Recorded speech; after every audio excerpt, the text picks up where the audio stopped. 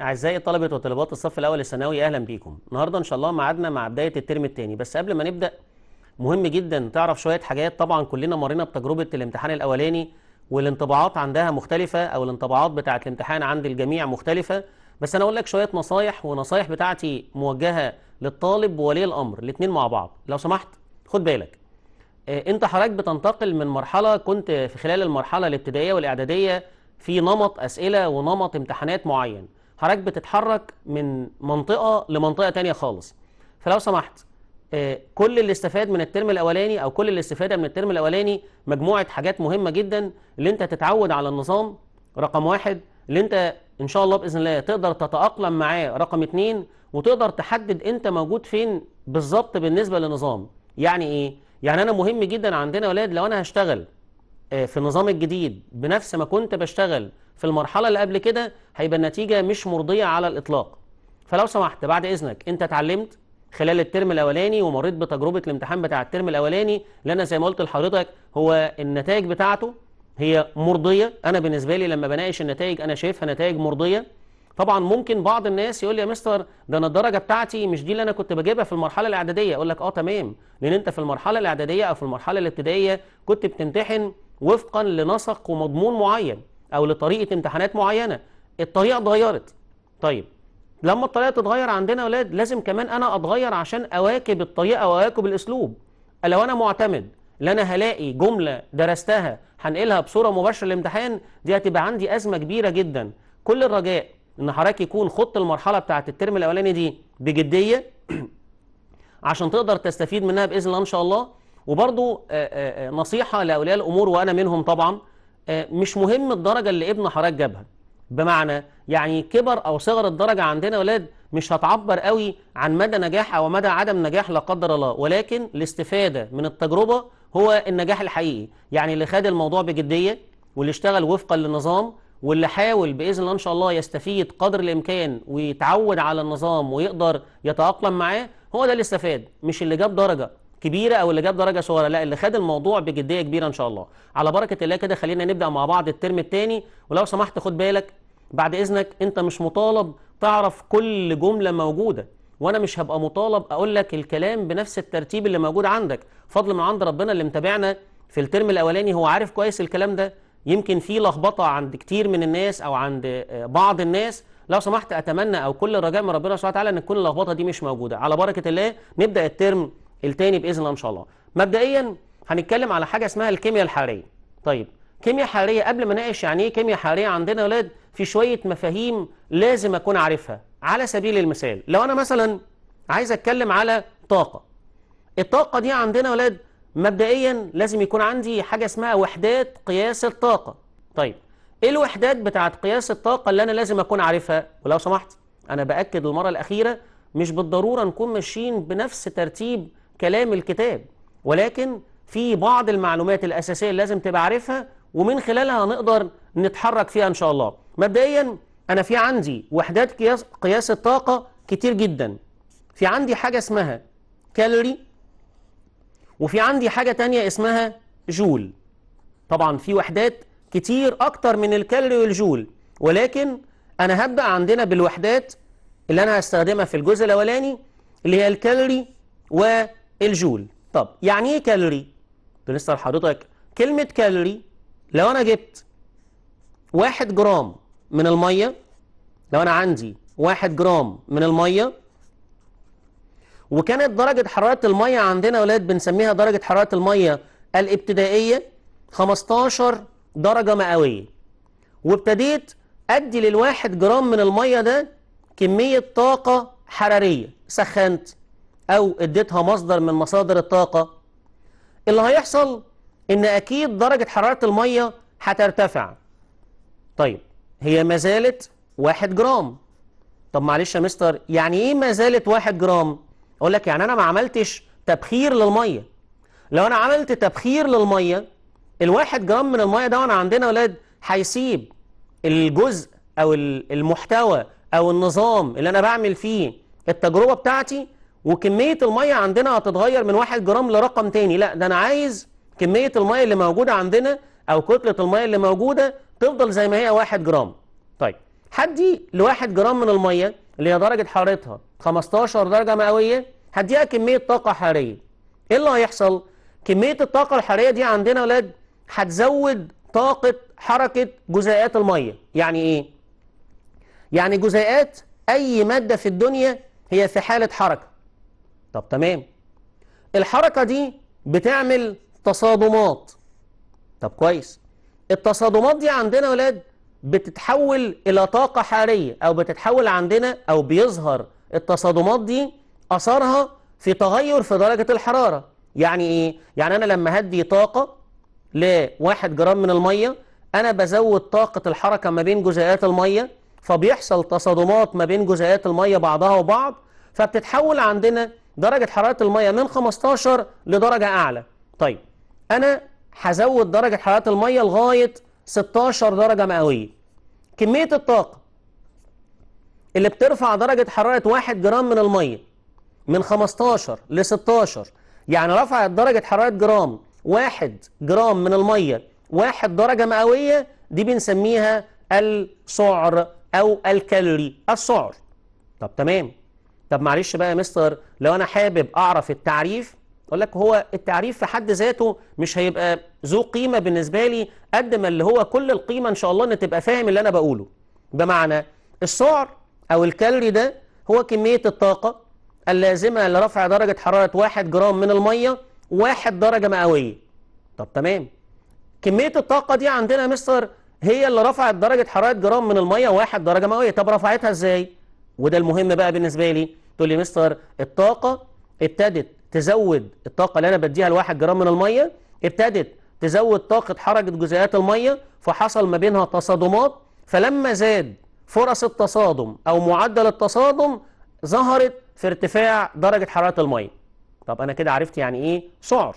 والسعر ده وحدة مهمة من وحدات قياس الطاقة. طب بالنسبة للجول الجول هو نفس تعريف السعر. تقول لي طب يا مستر حضرتك نفس تعريف السعر إزاي؟ أقول لك مبدئيا عشان تعرف في علاقة بتربط ما بين السعر والجول. كل واحد سعر. هي عبارة عن 4.18 جول. 4.18 من 100 جول. طب كويس قوي. طب قبل بس ما نقول التعريف اللي أنت بتحب دايما تسمعه لكن أنا زي ما بقول لحضرتك أنا يهمني أفهم التعريف. لأن هنا أنت طبعا مريت بمرحلة الامتحان الأولاني والحفظ أعتقد ما كانش هيبقى مفيد بالنسبة لك بدرجة كبيرة قد ما كنا مركزين بدرجة كبيرة جدا مع بعض إن شاء الله في الترم الأولاني على نفهم أصل المعلومة. مبدئيا العلاقة ما بين السعر والجول كل واحد سعر هي عبارة عن 4.18 جول. طب ده يعني إيه؟ تقول لي مستر حضرتك ده معناه إن السعر أكبر بكتير جدا من الجول. طب ممكن حضرتك تجيب لي هو الجول بالنسبة للسعر عبارة عن إيه؟ أقول لك ممكن. كل واحد جول هي عبارة عن 1 أو واحد على 4 و18 من 100 سعر. طب يا مستر حضرتك أنت قلت لنا إن تعريف الجول هو تعريف السعر. أقول لك السعر بيرفع درجة حرارة 1 جرام من المية درجة واحدة مئوية. إنما الجول هو كمية الطاقة اللي بترفع درجة حرارة 1 جرام من المية 1 على 4.18 من 100 درجة واحدة مئوية يعني كل واحد سعر بيرفع درجة حرارة 1 جرام من المية درجة مئوية كاملة وكل واحد جول بيرفع درجة حرارة 1 جرام من المية 1 على 4.18 من 100 سؤال هو أنا ليه اخترت المية؟ أقول لك يعني في معلومة أعتقد أنت عارفها قبل كده مقاومة المية للتغير في درجة حرارتها عالي جدا. يعني إيه؟ يعني لو أنا مثلا مثلا جبت سائلين مية وزيت وابتديت آخد نفس الكميات من المية ومن الزيت وابتديت أعرضهم لنفس كمية الحرارة أو نفس كمية الطاقة الحرارية هلاحظ إن المية عندنا معدل مقاومتها لتغير الحرارة عالي شوية. يعني مش سهل ترفع درجة حرارة المية. وده من فضل ربنا سبحانه وتعالى إحنا تقريبا 75% من مكونات أجسامنا مية. وعشان كده يا أولاد ربنا سبحانه وتعالى لما قرر أو صمم جسم البشري إن معظمه مية ده معناه إن دايما أجسامنا هتقاوم التغيرات في درجة الحرارة. مش أي ارتفاع في درجة الحرارة يخلي جسمك درجة حرارته ترتفع ولا أي انخفاض يخلي جسمك يتجمد. كل ده بفضل ربنا سبحانه وتعالى بسبب إن المية دي عندنا مستر بتقام التغير في إيه؟ درجة حرارتها. طيب يبقى أنا بقول لك اختيارنا للمية إن التحكم في رفع درجة حرارتها هيبقى أسهل أو أفضل لأن هي عندها مقاومة كبيرة للتغير في درجة الحرارة وهنعرف ده سببه إيه. طب برضه يا مستر في حتة كمان وأنت هل لازم وأنا بعرف السعر تبقى من 15 ل 16 أقول لك مش بالضرورة ولكن في عندنا حاجة اسمها STP standard temperature pressure اللي هي معدل الضغط والحرارة. إيه دي يا مستر؟ أقول لك دي اسمها شروط قياسية. دايما كده لما كنت بتدرس في الفيزياء في الترم الأولاني كان عندك حاجة اسمها المتر العياري أو مش عارف الكيلو جرام ولا الجرام العياري. إيه ده يا مستر؟ إحنا بنحط معايير محددة وأنا بحط أو وأنا بعمل التجربة لو أنا بعمل التجربة دي في مصر وأنا بعملها في أي مكان في العالم لازم أشتغل عندنا على المعايير. المعايير بتاعتنا بتضمن لنا بدرجة كبيرة إن ما يكونش فيه فروق في النتائج. فهنا المعيار بتاعنا عندنا ولاد كلنا في أي حتة من العالم اتفقنا إن السعر أو الكالوري هو الطاقة اللي بترفع درجة حرارة 1 جرام من المية. من 15 ل 16 طب معلش يا مستر وأنا ممكن أغير الحرارة دي؟ أقول لك ممكن بس أهم حاجة إن ما توصلش عندنا لدرجة الغليان. ولكن الأفضل وأنا بعرف السعر العياري وأنا بعرف الشروط العيارية أو القياسية بتكلم عندنا من 15 ل 16 طيب يبقى أنا كده عرفت يعني إيه سعر وعرفت يعني إيه جول؟ دي وحدات قياس الطاقة. وعرفت العلاقات أو العلاقة ما بين السعر والجول. طيب في عندي حاجة اسمها كيلو سعر وفي عندي حاجة اسمها كيلو جول. طب يا مستر هو يعني إيه كيلو؟ أقول لك كيلو دي عندنا يا ولاد يعني ألف أو عشرة أس تلاتة. كل كيلو سعر هي ألف سعر طب وكل كيلو جول هي ألف جول. طب هي دي مهمة؟ آه طبعا مهمة جدا. أنا عندي أربع علاقات إن الواحد سعر هي عبارة عن 4 18 100 جول والواحد جول هي واحد على 4 18 100 سعر وإن الكيلو سعر هي 1000 سعر والكيلو جول هي 1000 جول. طب معلش يا مستر حضرتك بعد ما عرفنا ده هنتسأل إزاي؟ أقول لحضرتك بقى ممكن نتسأل بالطريقة اللي أنا أقولها لك حالا دلوقتي. إيه الطريقة؟ أقول لك مبدئيا خلاص قصة اللي أنا أقول لك عرف السعر عرف الجول و والى آخره دي قصة منتهية وحضرتك أكيد عرفت إحنا كنا دايما بنتكلم مع بعض خلال الترم الأولاني. مهم جدا تفهم مهم جدا تعرف أصل المعلومة عشان ما تعانيش وأنت موجود جوه الامتحان. المعاناة غالبا للطالب اللي جوه الامتحان اللي هو كان معتمد بدرجة كبيرة جدا إن هو عايز يخش يلاقي الجمل اللي هو درسها أو اللي موجودة عندك في الكتاب هي اللي هيلاقيها في الامتحان. لا حضرتك إحنا بنعمل تغيير أو فعلا لازم أنت تواكب التغيير. طب سؤالنا هنا عندنا مستر هيجي لنا إزاي؟ أقول لك مبدئيا لو لو أنا عندي واحد جرام من المية والواحد جرام من المية دي عندنا ولاد اديته خمسة سعر. وكانت درجة حرارة المية كانت 15 درجة مئوية. طب يا ترى بعد ما اديله خمسة سعر هل هل درجة الحرارة بتاعته بتاعت الواحد جرام من المية هل هتفضل 15 طب هل هتبقى 16 طب هل هتبقى 18 طب هل هتبقى رقم أنا مش كاتبه؟ تقول لي يعني إيه يا مستر؟ أقول لك يعني دلوقتي عندنا يا مستر أنا بقول لك درجة الحرارة الابتدائيه بتاعة المية هي 15 آه سع 15 درجة مئوية سوري. واديت للواحد جرام من المية دي اديتها 5 سعر. يا ترى درجة حرارة 1 جرام من المية هتبقى كام؟ تقول لي مبدئيا يا مستر ده أنت مديها 5 سعر. طب إذا كان السعر بيرفع درجة حرارة 1 جرام من المية درجة مئوية فأنت مديها 5 سعر فهترفع درجة حرارة 1 جرام من المية خمس درجات مئوية فهتوصل عندنا لدرجة حرارة 20 طب تمام ما هو يا مستر الدنيا سهلة أهي. أقول لك آه الدنيا سهلة. إذا أنت عرفت هتفكر إزاي. طيب ممكن أجيب لك إيه كمان؟ ممكن أجيب لك عندنا يا مستر سؤال وأقول لحضرتك مثلا لو أنا عندي 100 سعر يا ترى ال 100 سعر ده هيكافئ كام جول؟ طيب إحنا زي ما اتعلمنا كده يا ولاد مع بعض في الترم الأول أنا ما بحبش العلاقات الكتير. بمعنى قلت له حضرتك يا مستر أنا عندي علاقة أساسية. إيه العلاقة الأساسية؟ أقول لك بمنتهى البساطة العلاقة الأساسية إن كل واحد سعر هي عبارة عن 4 و18 من 100 جول. إيه السؤال؟ السؤال بيقول لحضرتك أنا عايز قيمة الجول لو السعر كان 100 طب تمام. يبقى أنا عندي العلاقة الأساسية بتقول إن كل واحد سعر هي عبارة عن 4 18 100 جول. طب يبقى ال 100 سعره هتكافئ كام جول؟ قول لي بمنتهى البساطة يا مستر هنعمل طرفين في وسطين يبقى آدي 100 في 4 و18 من 100 على واحد وتطلع عندنا يا مستر زي ما تطلع بالجول زي ما انت اتعلمت كده في الترم الأولاني أعتقد في الباب الثاني اللي هو الحساب الكيميائي. طيب معلش يا مستر برضه دي علاقة مباشرة وأنا كنت ممكن أجيبها من العلاقة المباشرة اللي هي السعر بتساوي 4 18 100 جول. أقول لك أنت حر لكن أنا بدي لك طريقة هي أنسب للكل. طب أنسب للكل يعني إيه؟ أقول لك نقول كمان مرة.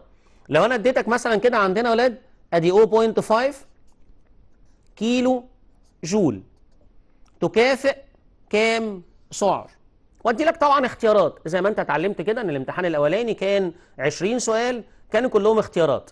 وغالبا الترم الثاني غالبا هيبقى معظم الأسئلة اذا لم تكن كلها اختيارات. طيب هفكر إزاي؟ أقول لك هكتب العلاقة الأساسية بتاعتي. إيه العلاقة الأساسية بتاعتي؟ تقول لي حضرتك يا مستر العلاقة الأساسية بتقول إن كل واحد سعر هي عبارة عن 4 و18 من 100 جول. إيه المطلوب؟ أنا عايز أعرف السعرات أو القيمة الطاقة بالسعر. لو أنا كان عندي 0.5 كيلو جول تقول لي طب تمام أنا هحط هنا عندنا يا مستر أدي 0.5 آه بس أنت اتعلمت في الترم الأولاني. ما ينفعش نحط وحدات مختلفة. بمعنى دي جول يبقى اللي تحتها لازم تبقى بالجول. طب أنت مديهاني عندنا يا مستر بالكيلو جول أقول لك طب ما تحولها. يعني إيه أحولها؟ أنا هحول عندنا من كيلو جول عشان أخليها جول. إزاي؟ أدي 0.5 في 10 اس 3 عشان تطلع عندنا قيمتها بالجول. طب كمان مرة. أنت ليه عملت كده؟ أقول لك إحنا اتفقنا. لازم الوحدات اللي تحت بعض في الطرف الشمال أو الطرف اليمين. لو أنا قسمت كده عندنا يا ولاد لازم الوحدة دي بالجول يبقى اللي تحتها بالجول. الوحدة دي بالسعر يبقى اللي تحتها بالسعر طب أنا مدي لك عندنا بالكيلو جول وأنا عندي العلاقة الأساسية ما بين السعر والجول فلو سمحت هتحول الأول من كيلو إلى جول. وتعمل برضو طرفين في وسطين. أهو. ادي 0.5 في 1000 أو في 10 اس 3 في 1 على 4 و18 من 100 وتطلع القيمة زي ما تطلع بوحدة السعر زي ما هو كان طالب.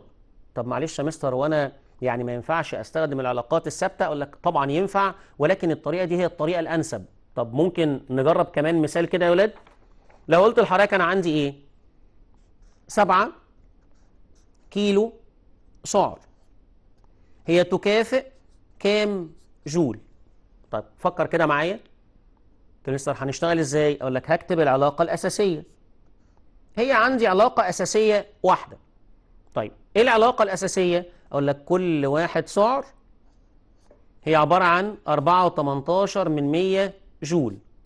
طب إيه المطلوب؟ أقول لك أنا عايز قيمة الطاقة بالجول.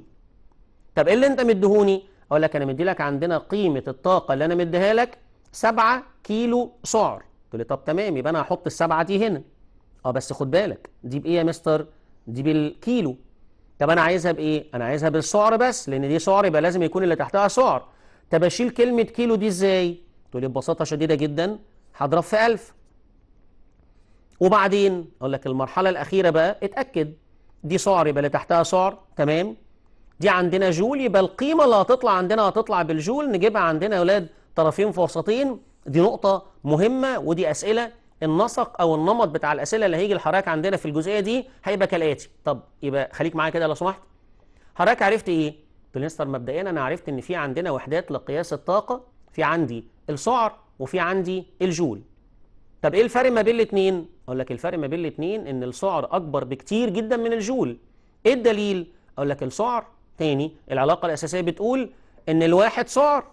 هي عبارة عن 4.18 جول. وأنا بعرف السعر. قلت لك هي كمية الطاقة اللازمة لرفع درجة حرارة 1 جرام من المية درجة كاملة مئوية. طب بالنسبة للجول لا ده بيرفع درجة حرارة 1 جرام من المية مش درجة لا 1 على 4 18 100 درجة مئوية. طب يا مستر أنا كده عرفت وحدات قياس الطاقة. طيب لو سيادتك عندك شوية سائل مية أو كحول أو زيوت أو أي حاجة لو أنا بقول لحضرتك عندنا يا ولاد إن درجة الحرارة بتاعة السائل ده 20 درجة مئوية وابتديت أدي للسائل ده طاقة حرارية. فدرجة حرارة السائل ده عندنا ولاد اتغيرت من 20 ل 25 إيه اللي حصل؟ تقول لي يعني إيه اللي حصل؟ أقول لك أنا اديت طاقة. الطاقة دي عملت إيه؟ تقول لي الطاقة دي زودت فرص التصادم ما بين جزيئات السائل اللي كانت درجة حرارته 20 طب زودت طاقة حركة الجزيئات بتاعه السائل ده فحصل زيادة في طاقة الحركة. أدي جزيئات السائل أصلا في حالة حركة. لما بديها طاقة بتزود طاقة الحركة ما بين جزيئات السائل اللي موجود ده فبتزيد فرص التصادم. لما بتزيد فرص التصادم درجة الحرارة عندنا بتزيد. ولو قللت فرص التصادم درجة الحرارة عندنا مالها يا ولاد؟ بتقل. طب برضو يعني إيه يا مستر؟ أقول لك يعني درجة الحرارة دي هي عبارة عن متوسط طاقة حركة الجزيئات. يعني إيه؟ يا لو أنت عندك سائل وكان السائل ده درجة حرارته 20 درجة مئوية فهو عنده متوسط طاقة حركة معين. طب لو نفس السائل كانت درجة حرارته 25 درجة مئوية ده معناه إن متوسط طاقة حركة جزيئاته كانت أعلى شوية. كمان مرة يبقى في تناسب طردي ما بين إيه؟ وايه ما بين درجة الحرارة ومتوسط طاقة الحركة. كمان مرة كل ما زادت فرص التصادم أو كل ما زادت طاقة الحركة هتزيد فرص التصادم هتزيد درجة الحرارة. والعكس تاني. يبقى أنا كده عندي يا أولاد عرفت مين المسؤول عن تغيير درجة الحرارة؟ ويعني إيه أصلا درجة حرارة؟ طب يا مستر أنا دلوقتي عندنا عرفت يعني إيه درجة حرارة؟ قلت لك هي متوسط طاقة حركة الجزيئات. طب لو سيادتك عندك سائل وكان درجة حرارته مرتفعة وسائل تاني وكانت درجة حرارته منخفضة. ده معناه إن متوسط طاقة حركة السائل طاقة حركة جزيئات السائل لدرجة حرارته أعلى هو هيبقى متوسط طاقة الحركة بتاعته أعلى. طب يبقى معنى كده إن في علاقة ما بين متوسط طاقة الحركة ودرجة الحرارة هي علاقة إيه يا أولاد علاقة طردية. طب لو أنا طلبت من سيادتك ترسم العلاقة أو هدي لك عندنا بعض الرسومات البيانية وأقول لك أنا عايز أكتشف مين العلاقة البيانية المعبرة عن العلاقة ما بين متوسط طاقة الحركة ودرجة الحرارة. تقول لي بمنتهى البساطة زي ما خدنا برضو في الترم الأولاني قلت لك إن العلاقة لو علاقة طردية يعني زيادة متوسط طاقة الحركة تؤدي إلى زيادة درجة الحرارة هرسم العلاقة البيانية بالشكل ده. طب لو كانت العلاقة علاقة عكسية هتترسم عندنا يا أولاد بالشكل ده. آه يبقى دي معناها علاقة طردي أو تناسب طردي وهنا الشكل ده يعني تناسب إيه يا أولاد عكسي. طب جميل جدا. ما هو التناسبات عندنا إما تناسبات طردية أو تناسبات عكسية. طبعا في بعض العلاقات بيبقى فيها شوية ثوابت لكن أنا عندي معظم العلاقات البيانية اللي أنا بدرسها معظمها. هي إما علاقة طردية أو علاقة إيه يا أولاد عكسية. طب أنا كنت بقول لسيادتك أنا عايز العلاقة البيانية اللي بتمثل متوسط طاقة الحركة ودرجة الحرارة. تقول لي مستر ما دي علاقه طرديه يبقى أنا كنت أختار الرسمة المناسبة دي. آه يبقى هنا عندنا أولاد لو هنا متوسط طاقة الحركة وهنا درجة الحرارة أو هنا درجة الحرارة وهنا متوسط طاقة الحركة فالعلاقة بينهم علاقة مين يا شباب؟ علاقة طرديه طب يا مستر حضرتك عمال تشرح في طاقة الحركة ودرجة الحرارة ووحدات قياس الطاقة سواء السعر أو الجول والعلاقات ما بينهم وأصلا كتابنا مش بادئ باللي أنت بتقوله ده. أقول لك أنا محتاج الأول أعرف يعني إيه وحدات قياس الطاقة نبدأ بقى بترتيب الكتاب بتاع حضرتك إيه ترتيب كتاب حضرتك؟ ترتيب كتاب حضرتك عندنا أولاد بيناقش الكيمياء الحرارية طبعا أنا ما ينفعش أدرس كيمياء حرارية من غير ما أكون عارف إيه هي الحرارة أو إيه هي وحدات قياس الطاقة أو أو إلى آخره اللي إحنا بدأنا بيه دلوقتي. طيب يعني إيه كيمياء حرارية؟ تقول مستر يعني هنعمل تفاعل كيميائي أو تغير كيميائي يصاحب التفاعل ده تغيرات في درجة الحرارة. آه يعني ممكن يحصل ارتفاع في درجة الحرارة. طب قول لي بقى هو لما يحصل ارتفاع في درجة الحرارة ده معناه إن متوسط طاقة الحركة يحصل لها إيه؟ كويس. ده معناه إن متوسط طاقة الحركة هتزيد. طب ده معناه إن فرص التصادمات ما بين الجزيئات هيحصل له إيه؟ تقول لي فرص التصادمات هيزيد. آه يبقى أنا لما برفع درجة الحرارة أو لما بدي طاقة لجزيئات سائل أو جزيئات مادة معينة هتزيد فرص التصادمات فهتزيد أو هتزيد طاقة الحركة فتزيد فرص التصادمات ما بين الجزيئات فيزيد عندنا درجة الحرارة. كويس. طب يا مستر بقى حضرتك هنعمل التفاعل ده في إيه؟ أقول لك أنا هعمل التفاعل ده داخل نظام. طب إيه النظام ده؟ بص معايا كده يا ولاد. أقول لك أنت خدت في الباب الأولاني في الترم الأولاني خدت أجهزة القياس. مثلا لو أنا عندي أنبوبة اختبار أو عندي مخبار مدرج خلينا نقول أنبوبة اختبار أو مخبار مدرج أو أو إلى آخره. لو أنا حاطط في أنبوبة الاختبار دي حاطط فيها سائل الميه اللي كانت درجة حرارته مثلا 25 درجة مئوية واللي كان حجم المية داخل أنبوبة الاختبار دي عندنا يا ولاد كانت 20 ملي طيب هل لو سبت الخمسة ال 20 ملي من المية اللي درجة حرارتهم 25 درجة مئوية سبتهم داخل أنبوبة الاختبار لمدة ساعة لمدة نص ساعة لأي فترة زمنية كبيرة أو قليلة.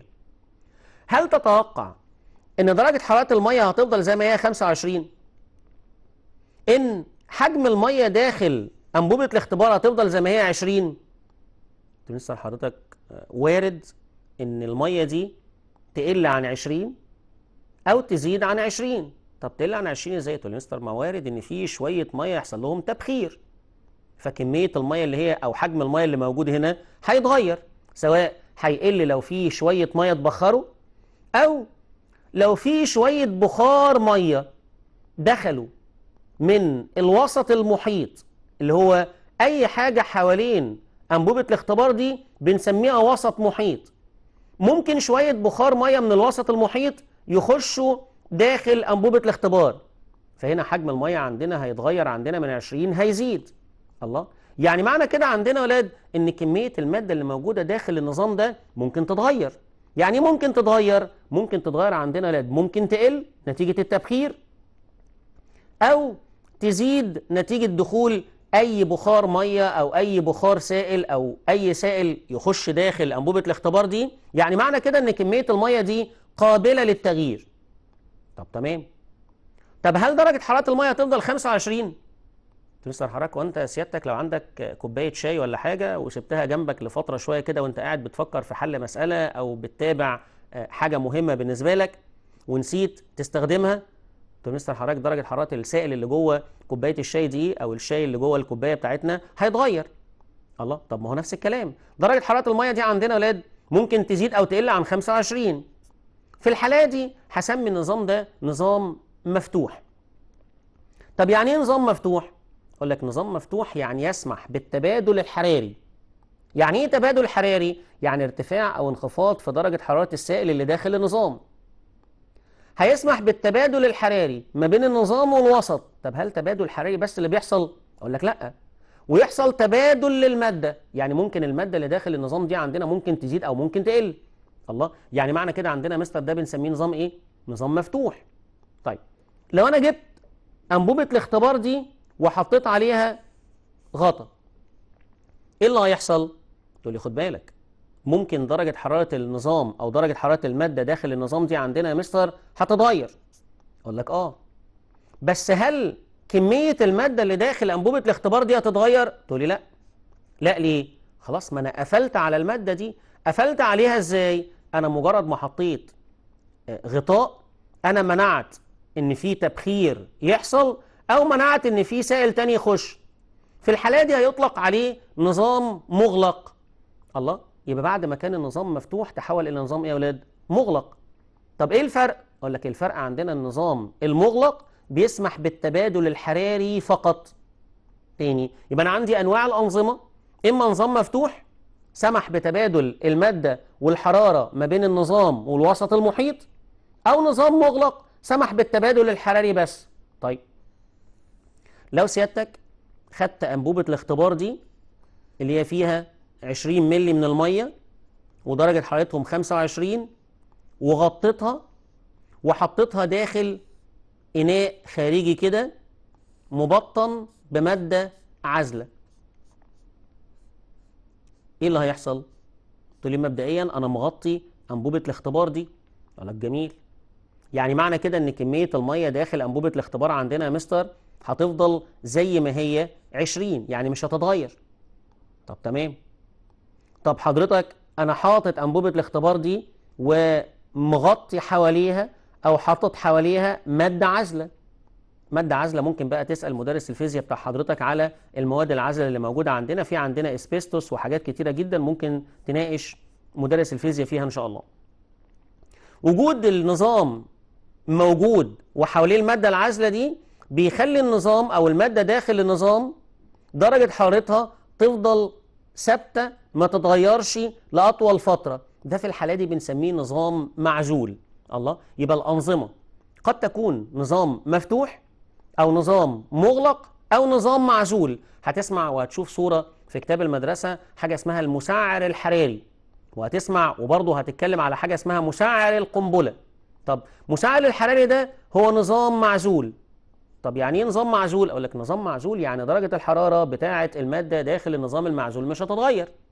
طب وكمية المادة داخل النظام المعزول برضه مش هتتغير. اذا الأنظمة ثلاثة إما نظام مفتوح ده بيسمح بالتبادل الحراري وتبادل المادة ما بين النظام والوسط المحيط. أو نظام مغلق وده منع انتقال المادة من النظام أو إليه ولكن سمح بالتبادل الحراري.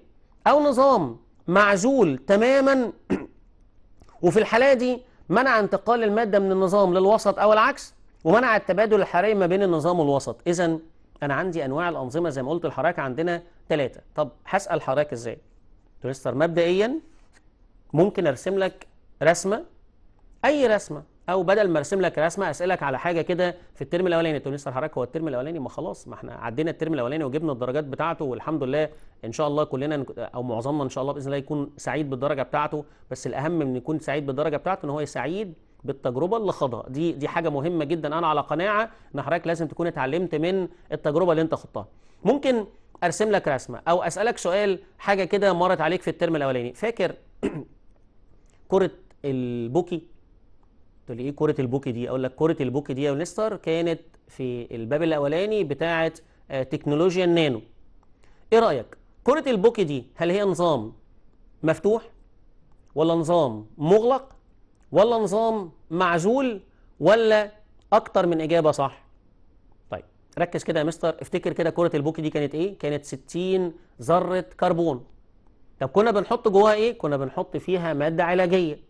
طب كان إيه الهدف منها؟ بتوجه المادة العلاجية داخل الجسم علشان نقدر نعالج أماكن معينة آه، بعض الأمراض المعينة اللي التكنولوجيا العادية آه، صعب تتعامل معاها. فكنا بنستخدم عندنا كرة البوكي دي. طب إذا كرة البوكي دي عندنا يا أولاد وهي داخل الجسم قبل ما تفتح هي نظام معزول. ليه يا مستر؟ المادة العلاجية موجودة داخل كرة البوكي. طب تمام. المادة العلاجية دي عندنا يا مستر أنا عازلها أنا ما بخرجهاش وما بدخلش حاجة من الجسم ليها. طب يبقى هي طالما لسه ما وصلتش للأماكن بتاعة العلاج فكرة البوكي دي هي نظام إيه؟ معزول. طب مجرد ما توصل للأماكن اللي هتعالج فيها المادة أو اللي هتعالج آه، المكان اللي فيه إصابة معينة عايزين نعالجه. مصر عندنا تحولت إلى نظام مفتوح. تاني. يبقى طالما ما وصلتش للأماكن اللي فيها إصابة هي نظام معزول. طب مجرد ما توصل للأماكن اللي فيها إصابة هي نظام إيه يا أولاد نظام مفتوح. طب جميل جدا. آه يبقى أنا في عندي أكتر من إجابة لأن أنا ما حددتلكش المكان. طب أنا ممكن أغير لك السؤال. أقول لك كرة البوكي قبل ما تصل للأماكن اللي فيها إصابات. مستر ده نظام معزول. طب مجرد ما تصل للمكان اللي فيه إصابة وهتبدأ تفرز المادة أو آه، تحط المادة العلاجية بتاعتها تبقى نظام عندنا نظام مفتوح. لأن خلاص أنا خرجت المادة في الحالة دي عندنا مستر الوسط المحيط بتاعنا هو الجسم. الله يعني الوسط المحيط دي عندنا يا مستر مش بالضرورة تبقى حاجة ثابتة أقول لك إحنا اتفقنا. بص كده معايا يا أولاد لو أنا بقول لحضرتك أنا عندي مثلا ده أحد الأجهزة اللي كنا بنستخدمها عشان نقيس بيها حجم السوائل. إيه اللي جوه؟ تقول لي اللي جوه هو سائل قد يكون حمض أو قاعدة أو ملح أو أي سائل. دي المادة موجودة جوه. اللي جوه هنا عندنا يا مستر أو الحدود دي هي حدود النظام. واللي بره حدود النظام اسمها إيه يا أولاد؟ اسمها الوسط المحيط. طيب لو أنا اعتبرت لو أنا اعتبرت إن كل اللي قدامك ده هو الكون طاقة الكون هي عبارة عن إيه؟ يا مستر طاقة الكون هي عبارة عن محصلة طاقة النظام وطاقة الوسط المحيط. يعني الطاقة الكونية أو الطاقة الكلية هي طاقة النظام وطاقة الوسط المحيط. طب هو حضرتك لو حدث انتقال للطاقة من النظام للوسط أو العكس إيه اللي بيحصل؟ قلت له مستر والله حضرتك بتحصل تغيرات. لو حصل انتقال من الطاقة انتقال للطاقة من النظام للوسط ده معناه إن طاقة المادة اللي داخل النظام هتقل. طب وطاقة الوسط المحيط هتزيد. طب لو حصل انتقال من طاقة الوسط للنظام ده معناه إن طاقة الوسط هتقل وطاقة النظام إيه يا أولاد؟ هتزيد. تاني يعني العلاقة ما بينهم علاقة إيه؟ سمعني بقى كده. آه يعني لو النظام فقد يبقى الوسط هيكتسب. ولو النظام اكتسب يبقى الوسط المحيط هيفقد اكتسب فقد فقد اكتسب. يبقى العلاقة بينهم علاقة إيه يا أولاد تقول لي علاقة عكسية. في واحد هيكتسب والتاني إيه يا شباب؟ هيفقد طاقة في حد الطاقة بتاعته هتزيد وحد تاني الطاقة بتاعته إيه؟ هتقل. بس خد بالك ما ينفعش النظام يكتسب والوسط يفقد آه سوري ما ينفعش النظام يكتسب والوسط المحيط يكتسب. ما ينفعش النظام يفقد والوسط المحيط يكتسب. لازم عندنا يا ولاد في الفقد يصاحبه اكتساب. بمعنى انت خدت قبل كده تعريف اسمه أكسدة واختزال. كنا بنقول زمان قوي إن الأكسدة هي عبارة عن فقد إلكترونات. طب والاختزال؟ تقول لي حضرتك يا مستر كنا بنقول اكتساب إلكترونات. طب تمام. هل من الممكن إن تحصل أكسدة بس؟ أقول لك لا. طب هل من الممكن إن يحصل اختزال بس؟ تقول لي برضه لا. ده عملية الأكسدة والاختزال عمليات مكملة لبعض. نفس القصة. حضرتك لو حصل إن الوسط اكتسب يبقى المادة داخل النظام عندنا دي هتفقد. ولو حصل إن المادة داخل النظام دي اكتسبت يبقى هنا عندنا الوسط المحيط عندنا يا ولاد هيفقد آه يبقى في عندنا دايما فقد وإيه؟ واكتساب لأن دي عمليات مكملة لبعض. تابعني كمان مرة. يبقى أنا اتكلمت على إيه يا شباب. قلت له حضرتك يا مستر أنت اتكلمت على وحدات قياس الطاقة اللي هي عبارة عن إيه؟ اللي هي عبارة عن السعر والجول. طب إيه الفرق ما بين الاثنين أقول لك السعر هي كمية الطاقة الحرارية اللي رفع اللازمة لرفع درجة حرارة 1 جرام من المية درجة واحدة مئوية من 15 ل 16 طب ليه قررنا نشتغل على المية؟ وهل ضروري من 15 ل 16 أقول لك دي الشروط العيارية أو الشروط القياسية. لكن ممكن عندنا يا مستر أرفع درجة حرارة المية درجة واحدة مئوية. أهم حاجة ما أوصلش لدرجة الغليان عشان أنا محتاج تفضل كمية المية اللي موجودة عندنا أو آه كتلة المية اللي موجودة عندنا ثابتة اللي هي 1 جرام. بالمناسبة يا ولاد هي 1 جرام ولا 1 مللي؟ تقول يعني إيه؟ هو في فرق ما بين الاثنين أقول لك أي سائل في الدنيا كتلته مختلفة عن حجمه إلا المية. تاني أي سائل في الدنيا كتلته مختلفة عن حجمه إلا المية. المية عندنا هي الوحيدة اللي كتلتها وحجمها حاجة واحدة. يعني الواحد جرام من المية هو واحد ملي من المية. طب إيه السبب يا ولاد؟ أعتقد أنت درست الكثافة. وعارف إن الكثافة هي عبارة عن الكتلة على الحجم. طب بالنسبة لكثافة المية أقول لك كثافة المية عندنا واحد. طب في الحالة دي يبقى كتلة المية هي حجمها. خد بالك. مفيش سائل تاني كثافته واحد ممكن تبقى قريبة.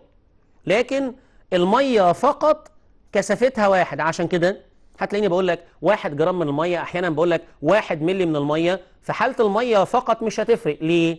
تقول مستر حضرتك لأن كثافة المية عندنا بواحد. طب تمام. يبقى أنا كده عندنا كمان مرة يا شباب؟ عرفت يعني إيه سعر؟ عرفت يعني إيه جول؟ وعرفت العلاقة ما بين الاتنين وإزاي نحل مسألة؟ وهدي لك مثال كمان شوية كمان غير اللي إحنا خدناه. وعرفت برضو عندنا أولاد أنواع الأنظمة المختلفة دي اللي هنعمل فيها التفاعلات الحرارية لأن أصلا البداية بتاعت حضرتك أو الباب الرابع عامة بيتكلم على التغيرات الحرارية المصاحبة للتفاعلات الكيميائية أو الكيمياء الحرارية عامة. عرفت عندنا إن الأنظمة في نظام مفتوح وفي نظام مغلق وفي نظام معزول. وسمعت عن حاجة اسمها الوسط وحاجة اسمها النظام الوسط المحيط والنظام وعرفت إن طاقة الكون هي عبارة عن محصلة طاقة النظام وطاقة الوسط المحيط. لو حدث فقد في طاقة النظام لازم الوسط يكتسب والعكس. هل من الممكن هما الاثنين يكتسبوا أو هما الاثنين يفقدوا؟ أقول لك مستحيل. إيه الدليل؟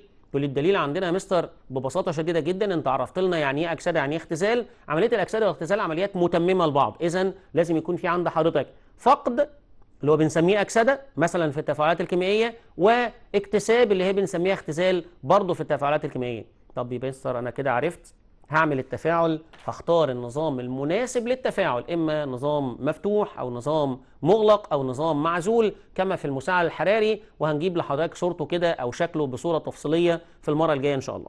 طيب في شوية مصطلحات لازم حضرتك برضه تبقى عارفها. من ضمن المصطلحات اللي أنت مهم جدا تبقى عارفها حاجة اسمها الحرارة النوعية. يعني إيه؟ أقول لك ببساطة شديدة جدا. لو لو أنا خدت واحد جرام من مواد مختلفة. مثلا هاخد واحد جرام من الحديد هاخد واحد جرام من النيكل هاخد واحد جرام من النحاس. طيب وابتدي أدي طاقة من نفس المصدر. يعني هدي نفس كمية الطاقة. وكانت درجة الحرارة الابتدائية بتاعة الحديد والنيكل والنحاس مثلا كانت نفس درجة الحرارة اللي هي 25 درجة مئوية. تاني يبقى أنا عندي واحد جرام من الحديد وعندي واحد جرام من النيكل وعندي واحد جرام من النحاس. وكانت درجة الحرارة الابتدائية بتاعتهم كلهم واحدة. هبتدي أديهم نفس كمية الطاقة الحرارية. هل تتوقع إن بعد مرور مثلا خمس دقايق من تعرضهم لنفس مصدر الطاقة. هل تتوقع إن درجة الحرارة النهائية بتاعة الحديد هتبقى زي درجة الحرارة النهائية بتاعة النيكل زي درجة الحرارة النهائية بتاعة النحاس؟ تقول يعني إيه؟ أقول لك يعني هم كلهم بادئين من 25 وهم كلهم كتلتهم واحدة اللي هي 1 جرام وهم كلهم اتعرضوا لنفس مصدر الطاقة الحراريه بتاعتنا اللي هي لهب أو ايا كان المصدر اللي أنت هتستخدمه. وهسيبهم نفس الفترة الزمنية. هل تفتكر في نهاية التجربة تطلع درجة حرارة الحديد والنيكل والنحاس؟ هي أكيد طبعا هتطلع أعلى من 25 بس هل يا ترى كلها هتطلع واحدة؟ تقول لي طب يا مستر إيه اللي هيمنعهم؟ ما أنت واخد نفس الكتلة واخد عندنا وكنت بدأت بنفس درجة الحرارة وكنت مديهم نفس الطاقة الحرارية وسبتهم نفس الفترة الزمنية. أقول لك لا في معامل تاني. إيه المعامل التاني؟ وده معامل لازم نكون على قناعة بيه. يعني إيه؟ قلت لحضرتك يا مستر المعامل اللي أنا على قناعة بيه. قلت لحضرتك أنت اتعرضت للامتحان معلش أنا دايما هفكرك بالامتحان بتاع الترم الأولاني بس مهم جدا تعرف الكلام ده أهم من الشرح أصلا. كلنا تعرضنا لنفس الامتحان مثلا بس مش كلنا قناعاتنا بيه واحدة لأن إحنا مختلفين. يعني مش كلنا هنقدر نوصل لنفس الدرجة بما إن إحنا مختلفين رغم إن هو امتحان واحد. لكن إحنا مختلفين في قدراتنا فلازم رد فعلنا عنه هيبقى مختلف وده شيء طبيعي طبيعي جدا. طالما الامتحان بيقيس قدرات فلازم رد فعلنا عليه هيبقى مختلف. طب يا مستر أنا عايز أقلل القدرات. أقول لك يبقى تزود طريقة تدريبك بالصورة الممنهجة في الطريق في الاتجاه السليم.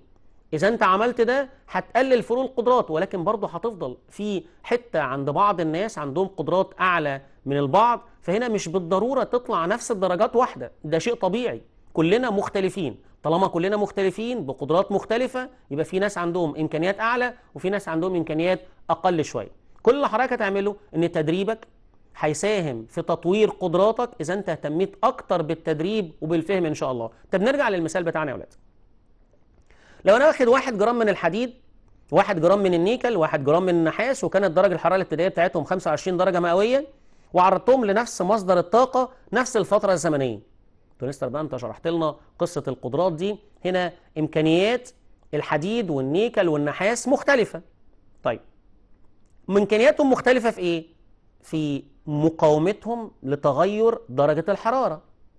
طب يعني إيه؟ أقول لك في عنصر ما بيقدرش يقاوم تغير درجة الحرارة بمعدل كبير وفي عنصر عنده مقاومة لمعدل.